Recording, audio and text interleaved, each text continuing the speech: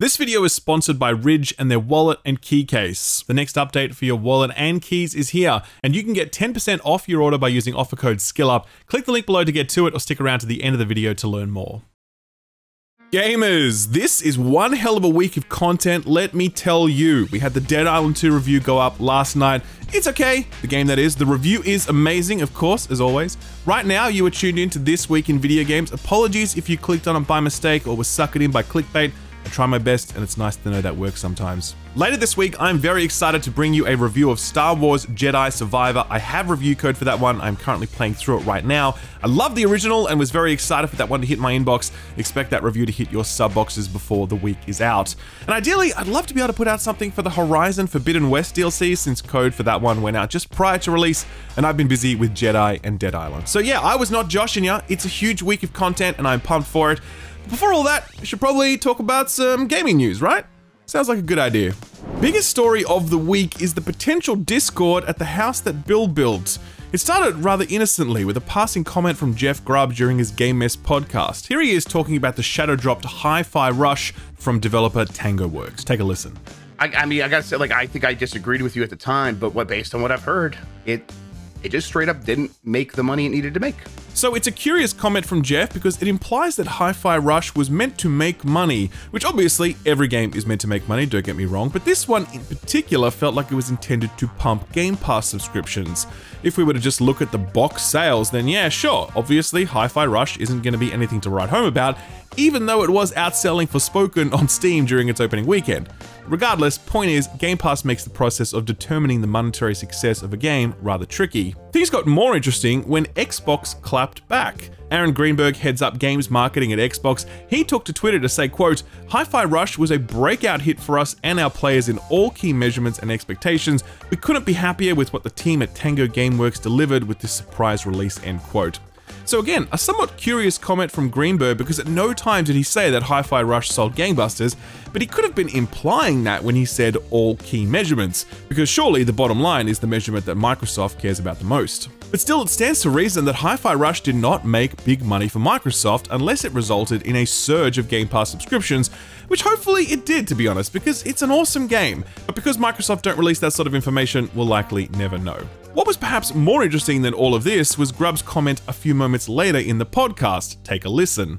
These are real consequences that are going on inside Microsoft right now, right? I mean, mm-hmm. do you think management is happy with the state of Xbox right now? I can like, tell you, I can tell you, they are not. So Grubb is a pretty well-connected, well-sourced operator. It's highly unlikely that he's talking out his ass here, so when he says that he knows Microsoft management are not happy with the state of Xbox, I'm inclined to believe him, and so are a bunch of other people. That set off a round of discourse this week with people taking a big step back and asking the question, how is Microsoft doing this generation? Some argue it's going great guns as the success of Game Pass has created a paradigm shift in the industry, while others point to the lack of flagship AAA entries and the flop of Halo Infinite as proof that Microsoft haven't got nearly the same momentum that Sony and Nintendo do. I mean, my personal take, I don't touch my Xbox console ever but that's only because Xbox have invested in PC parity.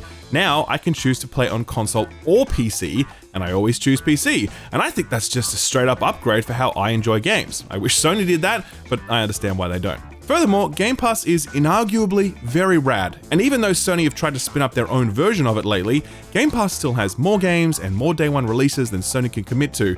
I straight up recommend Game Pass to any of my casual non-gamer friends thinking about getting into gaming, that's gotta count for something, right? But at the same time, yeah, where's Xbox's God of War or even their Horizon? Forza is nice, but it's not a system seller the way that God of War is or Breath of the Wild is. Right now, there's a lot of hope being pinned on Starfield, and if that doesn't deliver the goods and the Activision Blizzard deal somehow falls through, I think people are going to be asking some very big questions about the future of Xbox. For now, I'm holding out hope that the second half of this generation is kinder to Xbox than the first. Xbox has so many studios working on games I'm very keen to play. I just hope those games arrive inside the next, you know, five or six years. That'll be nice. You think I'm exaggerating? Well, this week, Microsoft revealed in their submissions relating to the Activision Blizzard acquisition that they are currently at work on a massive AAA sequel that they estimate will take 10 years to deliver. The filing reads, quote, For instance, according to one Microsoft executive, Redacted, a forthcoming title from the Redacted franchise, may take a decade to develop, end quote. What is Redacted? I don't know, but I sure should hope it isn't Elder Scrolls 6, even though I secretly think it's Elder Scrolls 6. 10 years to develop a AAA sequel, you constantly hear from industry insiders that the AAA model is utterly broken beyond repair, and I can think of no better argument for that than a 10 year development cycle for a single game. Can you imagine the microtransactions required to earn back that development cost? I don't want to think about it, man. That's some Genshin Impact money right there. Sticking with Xbox just a little bit longer, we got some insights into how Team Green might be handling handhelds in the future. This discussion was brought into focus when a still unconfirmed PlayStation handheld was leaked, though apparently that's only going to support remote play, which is a bit nuff nuff. Around the same time, The Verge reported that Microsoft were doing some work in the handheld market, though in an unofficial capacity and not even using Microsoft hardware. A leaked internal hackathon project shows that at least a few people at Microsoft are kicking around the idea of creating a Windows mode for existing handheld PCs like the Steam Deck would essentially be a launcher you could load onto those devices, allowing you to access the Xbox ecosystem without all the hassle of having to navigate through Windows, which is possible on those devices, but it isn't a great user experience. Given that handheld PCs are taking off at the moment, an Xbox push into this space makes a lot of sense, since they could market Game Pass and the broader Xbox ecosystem to an entirely new market segment without any of the risks of developing and shipping expensive hardware. It's very clever, and I hope the project graduates from hackathon to actual thing, because I'd be very keen for something like this on my Steam Deck.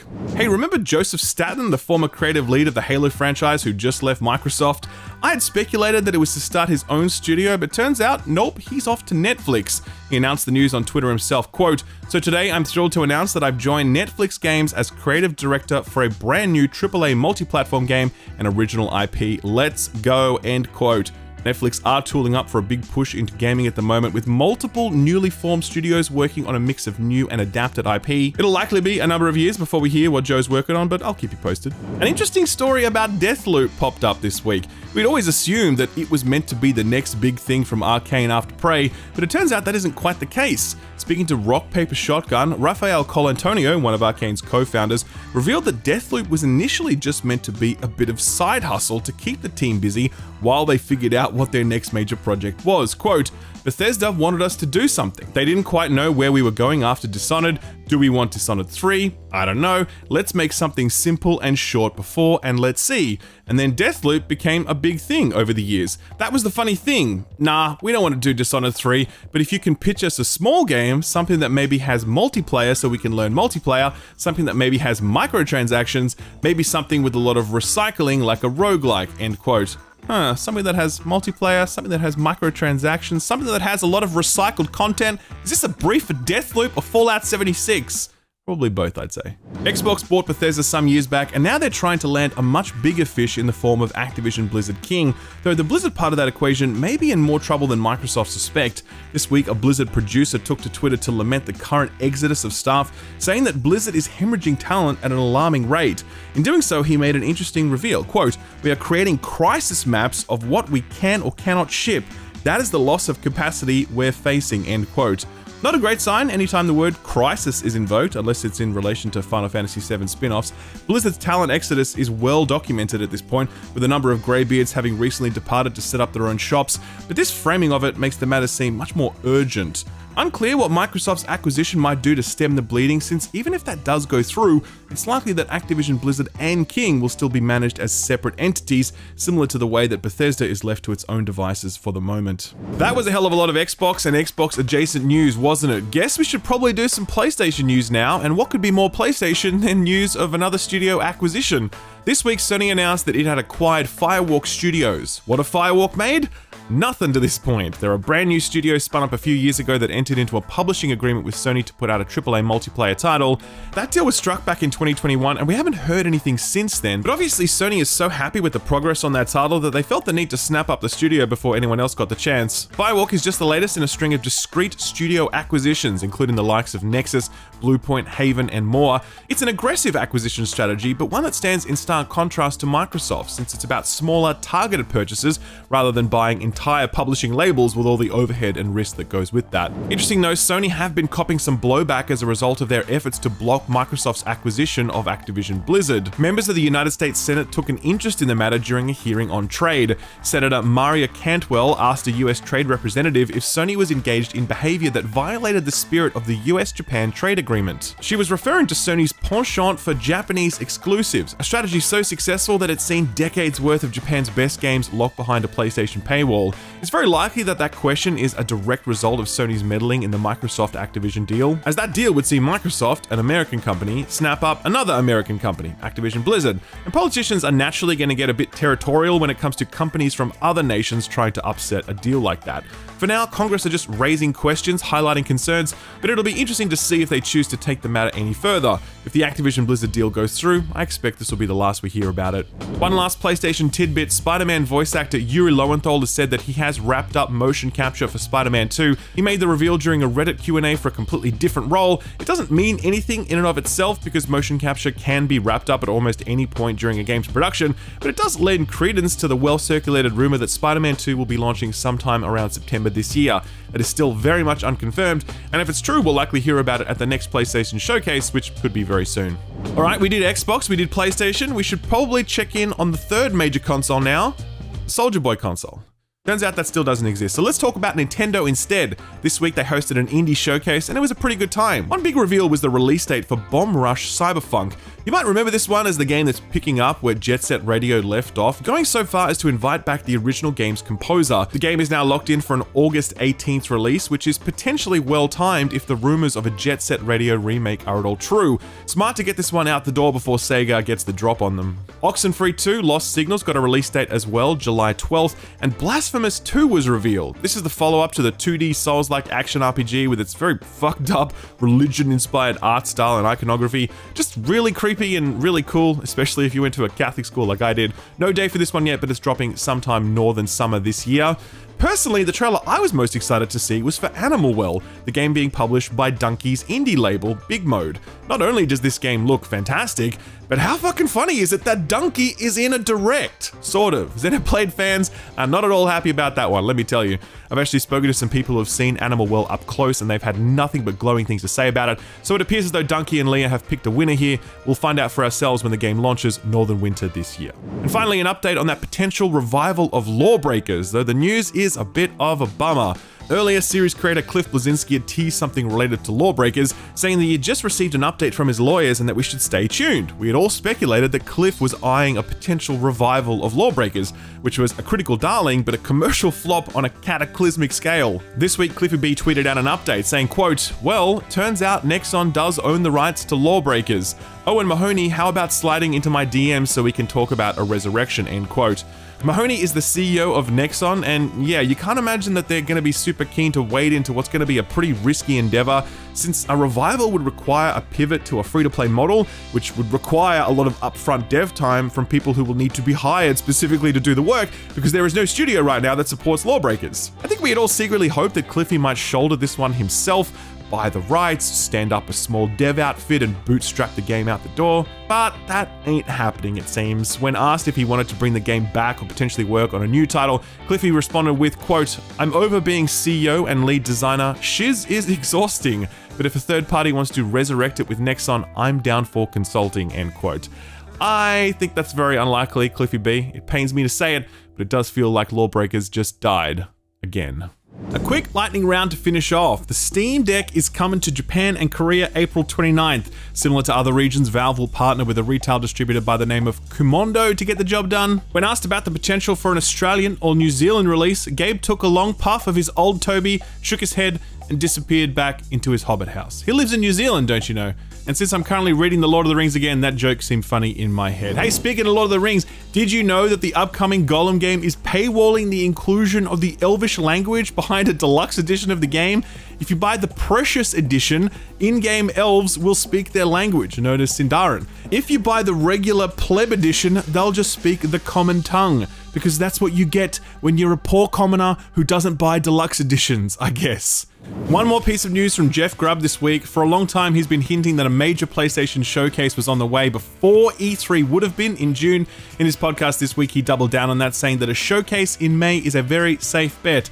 This is apparently going to be a big one for PlayStation, setting out the next phase for the PS5 and potentially even some hardware announcements, like that weird ass remote play handheld that got leaked. Is any of this true? Who knows? We will find out soon, I guess. Apparently, we were a womp rat's tail away from getting Star Wars Battlefront 3. That reveal comes from Michael Barclay, formerly of EA Dice but now at Naughty Dog. He said that the sequel was cancelled two yards from the finish line. A real shame because, other than the loot boxes, Battlefront 2 was pretty awesome and it would have been nice to see that series continue. We're getting a Street Fighter 6 demo. Well, actually, it's available right now for PS4 and 5 owners, but everyone else will get it on April 26th. It includes a few characters, some customization, a bit of the world tour stuff, a nice way to get all warmed up for that June 2nd release. Ubisoft are bringing four of their existing games to Steam. They include Far Cry 6, pretty good, Riders Republic, very good, Monopoly Madness, no idea, and Rainbow Six Extraction. Please, for the love of God, do not buy that. It follows a recent trend from the publisher to shift their games onto Steam after a period of Epic and Ubisoft Connect exclusivity, and hopefully in future we can just skip straight to day one Steam releases. That would be really great, thanks. Speaking of Ubisoft, XDefiant closed beta has just wrapped up and it had over 1 million players participate. That's pretty good, and you know what's even better? The game is alright. I played a bunch of it and quite enjoyed it. If you want to learn more, I'll leave a link to my preview coverage below the like button. And finally, did you feel that? It's as if 147 gigabytes suddenly cried out in terror and were suddenly full. That's right, the system specs for Jedi Survivor have been revealed, and the game requires 147 gigabytes of hard drive space for PS5, similar for Xbox Series and PC. EA really looked at Call of Duty install sizes and thought, I can top that. I mean, at least you'd be able to preload it two days prior to launch, but I feel like in Australia, we're going to need like six weeks to download that, so wish us luck. So, what got announced or delayed this week? Well, outside of that Nintendo Indie Showcase earlier, there weren't a whole lot of announcements this week. One of them was for a first party Nintendo announcement, though. The next Xenoblade Chronicles 3 DLC is shipping on April 25th. This is a piece of story DLC that somehow brings characters from previous Xenoblade games into the mix. It's the final piece of DLC for the celebrated JRPG, and you gotta guess that the studio is now hard at work on their next big thing, which will surely ship for the Switch too. Or just a remaster of Xenoblade Chronicles X. I'd be more than happy with that. Humanity is a title revealed just a short time ago. It's a Lemmings type game that looks promising for a bunch of reasons, not least of all because it's made by the same people who made the Game of the Year contender Tetris Effect. This one is also shipping with PSVR 2 support, which is pretty rad. There was a demo up recently that everybody loved, and now the title has an official release date, May 16th, exclusive to PlayStation consoles for now. The only other announcement this week was for an unexpected return to Sanctuary. In a Diablo 4 developer livestream, Blizzard dropped the surprising news that they will be hosting yet another open beta, this time from May 12th to 14th. They're calling it the Server Slam Weekend, and as an added sweetener, anyone who logs in and or takes down a world boss will get exclusive rewards when the full game releases releases, but it's important to remember that your character progress from the beta will not carry over into the full release. That is an open beta available to every man and his skeleton dog. So what came out last week? Four releases to circle back to. The first is Disney Speedstorm, a new kart racer from mobile game maker Gameloft. Only this one is coming to consoles and PC. It's free to play eventually, but for now you'll need to pony up some dough for a founder kit. I don't think anyone had high expectations for this one, but apparently it's okay. Steam users have it at a mostly positive 70, while critics are in a similar spot, putting it at a nice 69 on OpenCritic.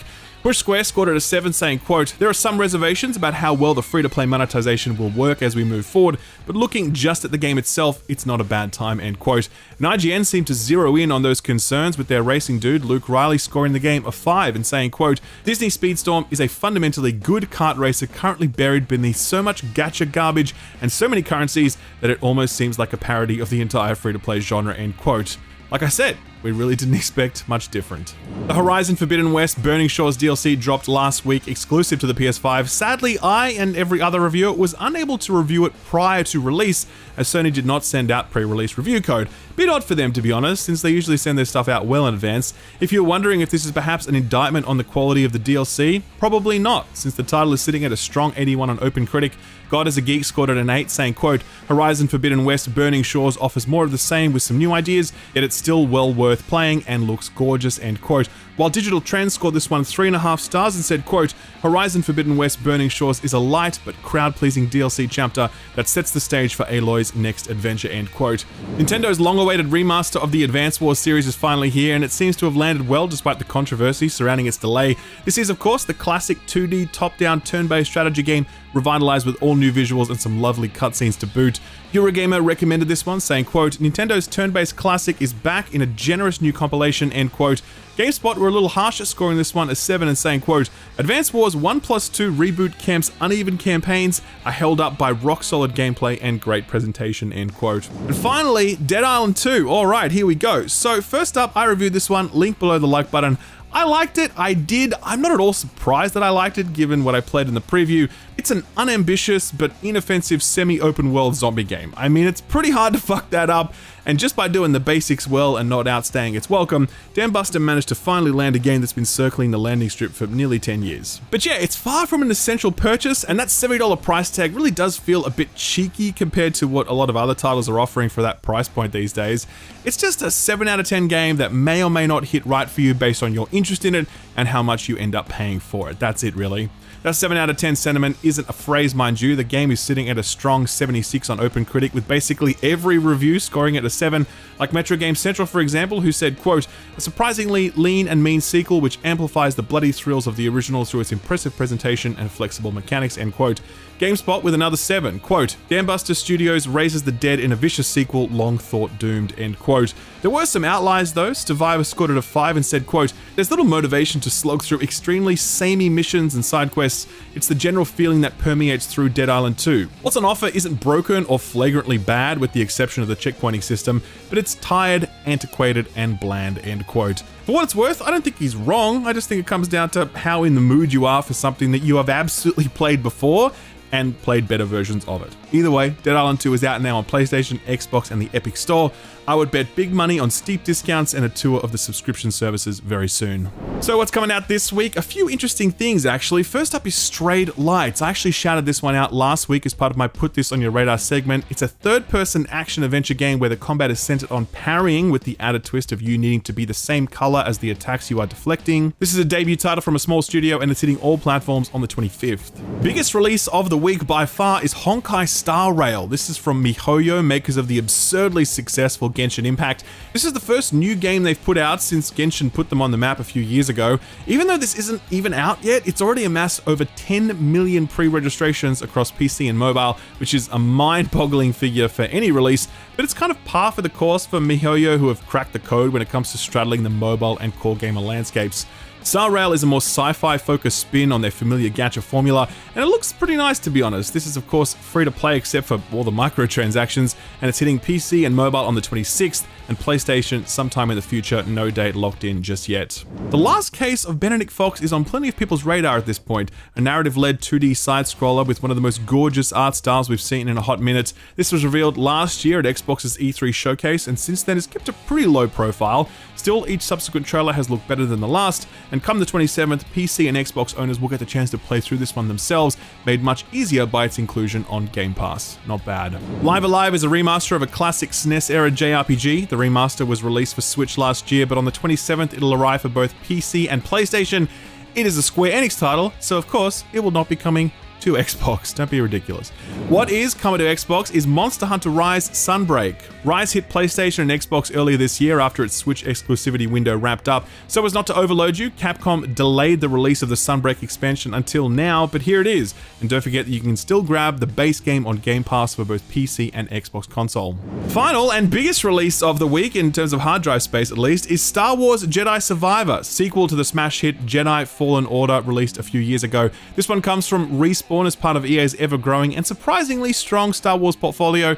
Fallen Order was by no means a masterpiece, being held back by some clunky combat, some tropey open world stuff, and some weird Dark Souls stuff that didn't sit quite right in the Star Wars universe. But the storytelling, the visuals, the lore, and the ending, man, it was so fucking cool. It was just top notch Star Wars fare. The sequel is promising more of the same without being too specific about gameplay changes. I mean, to be fair, if it's just the same game but a new chapter in this saga, then I'd be okay with that, since the storytelling really had me wrapped around its little finger in the last game. If the game itself is good, then that's a nice bonus. I'm hoping to have a review out for this one prior to release, but I can't promise you that yet. If you'd like to be notified if and when that review goes live, use the Force and click the subscribe button with the I don't know, just subscribe. I'm not really sure where I was going with that one. Okay, moving right along, uh, put this on your radar. Everywhere, in all directions, destruction has claimed dominion. Back in January of 2016, a studio by the name of Red Hook self-published a breakout smash. It was called Darkest Dungeon, and it was every bit the dungeon crawling roguelite that was all the rage at the time, but there were some things that really set it apart. The art style for one, like a western gothic take on the chibi style you'd find in a JRPG. The other standout feature was the psychological stress mechanic, manifesting in gameplay the unimaginable pressure that dungeon divers would likely be under, where they're regularly running into scores of skeletons who wanted to spill their guts with scimitars. Well, some seven years later, Red Hook are about to release a sequel, Darkest Dungeon 2. It promises more of the same party-based, turn-based, roguelike gameplay, only this time the game has had a significant presentation glow-up thanks to its exploration now happening via carriage ride through doomed 3D landscapes. This art looks truly incredible, and it's just one of the reasons I'm keen to check this one out. Good news, we won't have to wait long for it. Darkest Dungeon 2 has spent the past year in early access on the Epic Game Store, but it's hitting 1.0 on May 8th, and it's coming to Steam. If you'd like to wishlist it ahead of that date, I profiled it over on my Steam curator page, which also has links to all of the other Put This On Your Radar stuff I've recently covered. I'll leave a link to all of that below the like button. Sort of free stuff time now, and it's the last week of the month, so be sure to grab all your PS Plus titles, your Games with Gold, and your Prime Gaming stuff before it disappears for good. Epic are back as always, this time with four free games you can grab over the next week. Two of them are up right now. They are Beyond Blue, a narrative-led sub-nautical exploration game, as well as Never Alone, a charming 2D side-scroller made in collaboration with some of Alaska's native people, celebrating a story passed down through generations. The two other titles arrive on April 28th, and they are Poker Club, which I'm assuming is some sort of card game, I don't know. The other is Breathedge. I wish I could offer this one a sterling endorsement as Subnautica, but in space is kind of a slam dunk premise. Still, Breathedge manages to find a way to screw it up with some absolutely relentless and relentlessly unfunny dialogue, and the back end of the game completely ignoring any of the base building and exploration that made the first part quite enjoyable. Worth adding to your Epic library, but probably not worth booting up, sadly. Game Pass got its monthly refresh this week as well, though it is a quieter month than usual. The last case of Benedict Fox is on there, as I mentioned earlier. Cassette Beasts is maybe one to check out if you're at all a fan of Pokemon. The headline act, though, is Redfall, which is facing all sorts of backlash owing to its always online requirement, its Denuvo on PC, its lack of cross party progression when playing co op, its somewhat questionable looking combat and loot, and most concerningly, its 30 FPS cap when playing on console. Not a great look to be capping your flagship AAA title at 30 FPS when you're crowing about having the world's most powerful console. I bet Bethesda's technical teams are sweating bullets trying to get Starfield running at 60 FPS on Series X. Will they get it done? Based on the technical state of previous Bethesda game releases, I have no reason to doubt them at all. Feel good story for the week time. And you know, everyone always asks, would you survive the zombie apocalypse? But no one ever asks, what happens if you die in the zombie apocalypse? I mean, sure, you'd probably become a zombie, but how might your friends and family remember you and honor your untimely passing into the land of the walking dead? That is why, and I want to stress that this is real, a UK insurance company has partnered up with Dead Island 2 to deliver the Death Wish insurance policy. And again, this is real. The policy involves two things. Number one, locking your corpse in a giant unbreakable metal box so that if you do turn after death, you are trapped underground, clawing at the steel until your zombified fingernails fall off. And two, the policy covers the cost of your friends and family to fly to LA to party for a week in your honor. This policy comes from Dead Happy, a company who are focused on, quote, changing attitudes to passing away and promoting positive ways to remember loved ones, end quote. And it cites a study that they did that found that 40% of adults surveyed don't want to return from the dead as a flesh eating zombie, which implies that 60% of people are okay with it. Honestly, I'm not really sure. Put me in the maybe pile, I guess. This policy will cost you some £8,000 and is not legally binding, so really you're just giving this company £8,000 for a laugh. But hey, makes for a nice tie-in with a zombie game, and we got a cool infomercial out of it. Get dialing today. And remember, please die responsibly. Ladies and gentlemen, here we are once again at the end of the show, which means it's time for me to get back to work. Jedi Survivor isn't going to review itself now, is it? I hope you enjoyed yourself today, and if you did, could I ask a favor? Clicking the like button is a very big deal to the YouTube algorithm. Papa Google eats that shit up. So if you want to help your boy out, then a click would be hugely appreciated. Like I said, big week of content, plenty to look forward to. So if you want to be here for it, be sure to subscribe and ding that notification bell. Thank you again for tuning in. I always appreciate it. And a big thanks to this week's sponsor, Ridge. I would just like to take a moment to thank this video's sponsor, Ridge. Ridge aren't just sponsoring this video, by the way. They're actually an official sponsor of the channel for all of 2023. We did a few shouts last year, and they came back to me this year and they said, how about we make it official? And I'm like, sure thing, let's put a ring on it. Ridge sell rings, by the way. That's an actual thing they do. Personally, I'm most into their wallets and key cases. I've been using a Ridge wallet for many years, well before they sponsored the channel. I saw it advertised on another YouTube video, I bought one, and the rest is history. I never looked back at the old bulky leather wallet I used to have because Ridge wallets are the wallet evolved. Store all of your essential cards, your cash using the money strap or money clip, protect yourself from scammers with RFID protection, and look like a classy dude because these things are sleek and stylish and come in a range of colors and materials, allowing you to rock whatever look works for you. There are other products there too, like their excellent backpack, their bolt action pens, and tons more. All of it is worth a look, and all of it is 10% off when you use offer code SKILLUP at checkout. Visit ridge.com forward slash skillup and get 10% off store wide. Link below in the description and the pinned comment. Thanks, Ridge, for sponsoring the channel for 2023, and a big thank you to you out there for watching the videos, since Ridge would not be supporting the channel if it weren't for you guys. Appreciate it, and I'll see you next time. Bye bye.